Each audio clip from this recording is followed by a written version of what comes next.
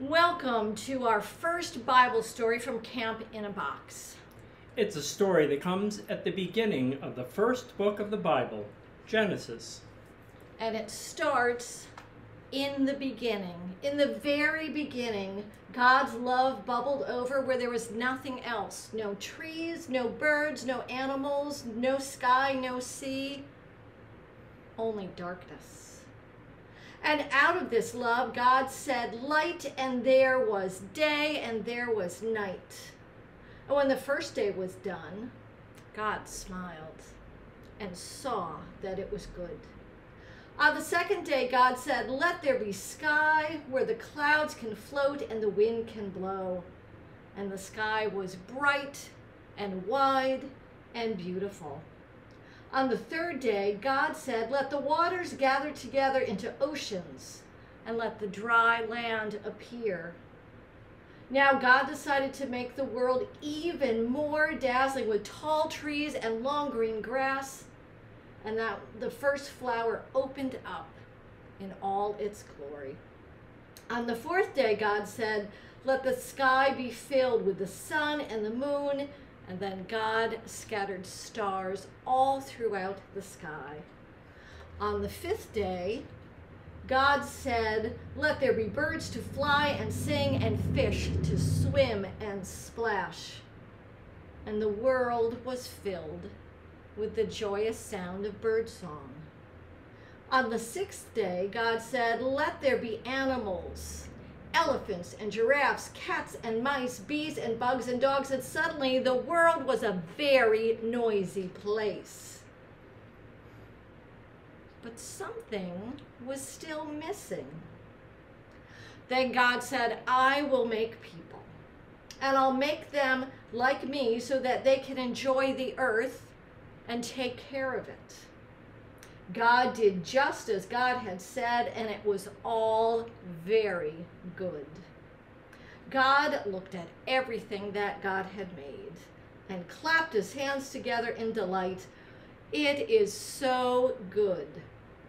And on the seventh day, God laughed and rested and enjoyed his creation.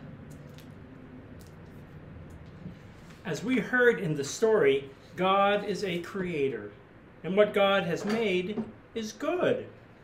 It's our job to take care of this good earth and help it to be as good as it can be. We rely on God because God has made it all connected. If we look back at the story, we can see how each day of creation builds on the last. The things that God creates could not exist without the things that came before it. Fish couldn't exist without water. Land animals couldn't survive without plants. And humans could not survive without all the rest. Now we have some questions for you. What? Oh, I'm sorry. What do you like best in the story of creation? Why? When have you experienced the goodness of creation? And what is one way that you can help take care of the earth? How have you experienced the closeness of God? And now we come to the special activity connected with this Bible story. One way people often remembered their connectedness to the whole world is through looking up at the stars. They can remind us just how big our world and the universe are and how amazing God is for having created it all. In your box, you'll find a few pages of a book about constellations named Finding the Constellations, written by H.A. Rey. And that should help give you a head start in finding them. Try to go somewhere at night that doesn't have too much extra light, which can make finding the stars difficult on a clear night when the moon isn't too bright.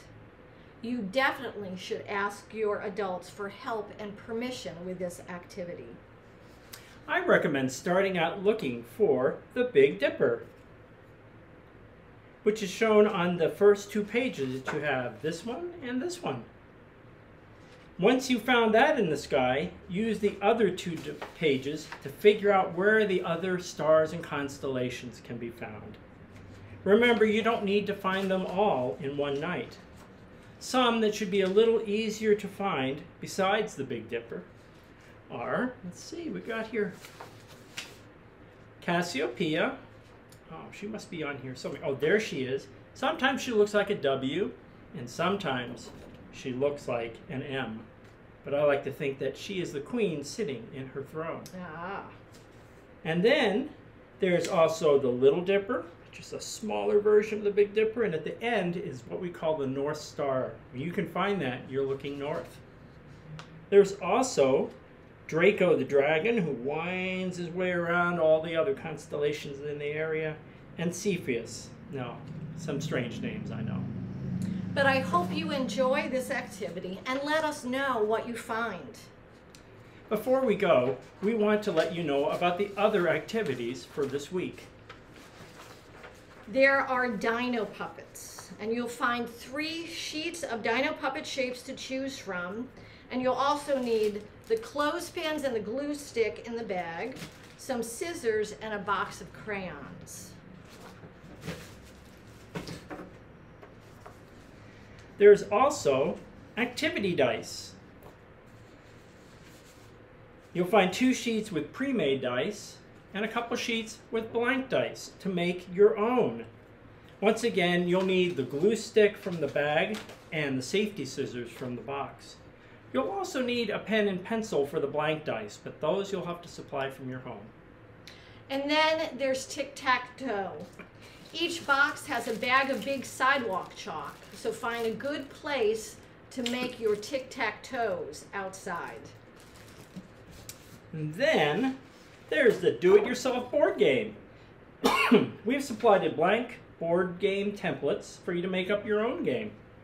You'll also find in this bag wooden discs for pieces, the markers, and dice to play the game.